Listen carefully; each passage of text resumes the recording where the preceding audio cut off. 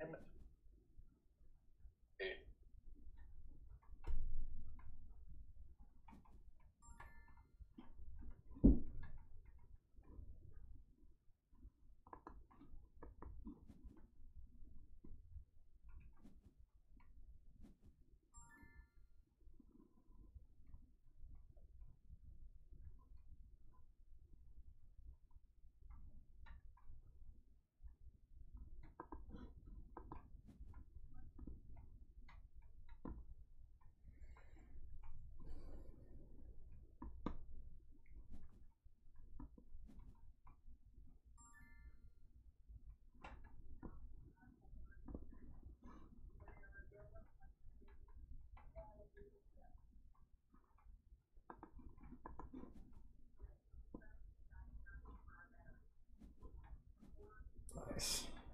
was I was really not wanting to do that. Hoping.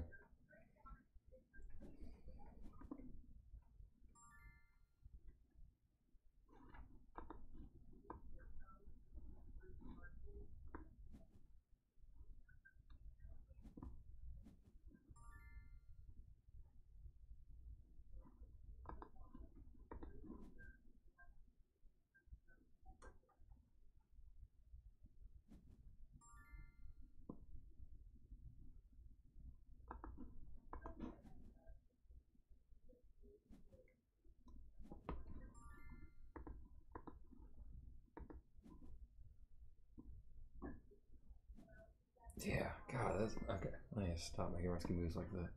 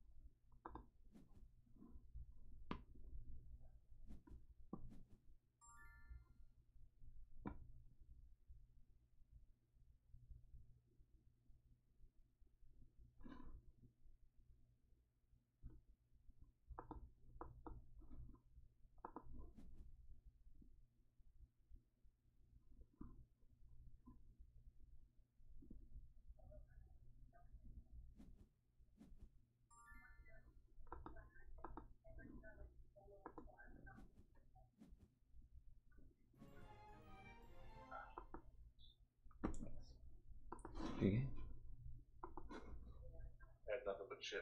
I had nothing